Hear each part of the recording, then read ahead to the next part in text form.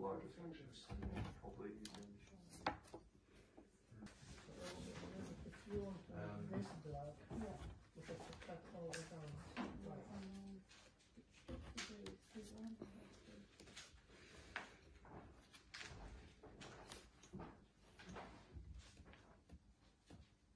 Everybody, could I get you around here again just to show you something quite important?